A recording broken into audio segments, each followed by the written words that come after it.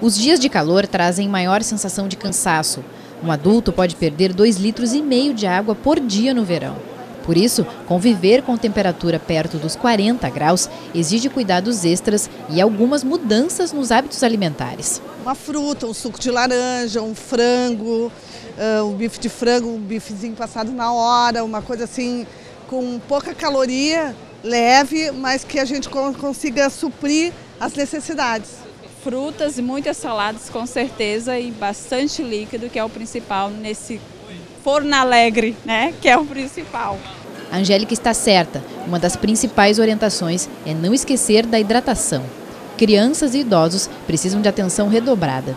Principalmente porque a gente tem uma temperatura muito elevada e as pessoas precisam se hidratar. E existem várias maneiras de consumir a água, né? Que é na sua forma in natura, que ainda é a melhor, mas também existem alguns truques com que a gente pode aumentar, com que a palatabilidade, né?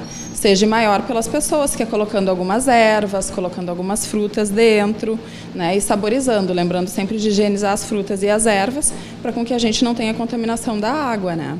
Outra dica importante é fazer compras em locais que ofereçam variedades de alimentos in natura ou minimamente processados, privilegiando uma alimentação mais leve.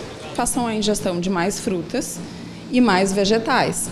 E também procure não comer alimentos com molho, né, principalmente à base de leite e de emulsificação, que são as maioneses, né?